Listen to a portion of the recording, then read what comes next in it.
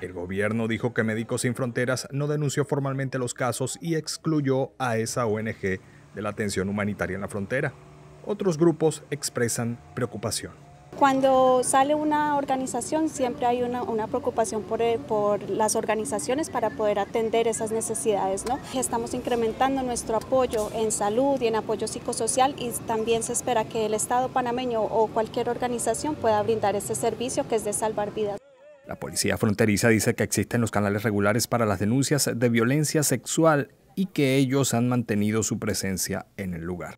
Es importante entender el ambiente geográfico de la selva de Darién, no es un ambiente complejo, un ambiente que necesitamos reestructurar muchos aspectos con, con, respecto a la seguridad pública. Darién sigue siendo un foco de atención para el gobierno de Estados Unidos, que ha invertido 43 millones de dólares en los últimos tres años para la atención en esta zona selvática. No queremos que la gente haga la ruta, pero lo están haciendo. Y hay unos servicios básicos que hay que proveer a esos migrantes y las comunidades eh, en el camino.